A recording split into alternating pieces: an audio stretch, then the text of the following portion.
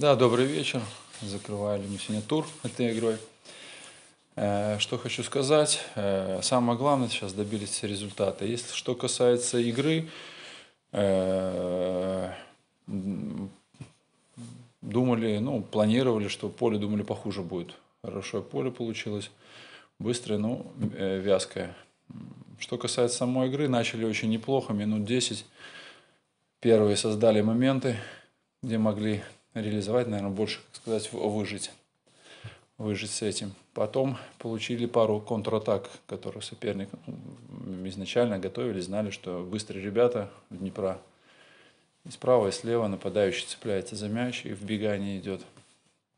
А, э, В принципе, еще была небольшая спешка в первом тайме, где надо было чуть более до логического, до логического завершения заводить. Мы доходили до фланга, с фланга шла передача, был опять подбор на фланге, и хотели сразу же атаковать, но после этих как бы вторых, вторых атак получали обратную контратаку.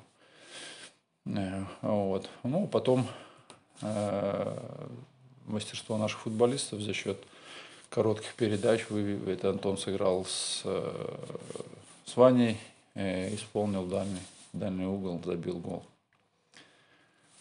Перерыве с ребятами переговорили, э, заострили внимание, что мы были готовы э, к быстрым атакам, особенно то, что касалось первого тайма, где мы упустили со стандартов пару раз ребята с Могилева выбегали, и сказали, чтобы все-таки больше сделали разворотов, чтобы э, ребят доставляли мячи мы во фланг, чтобы с фланга мы могли опять же реализовать моменты, которые сможем создать.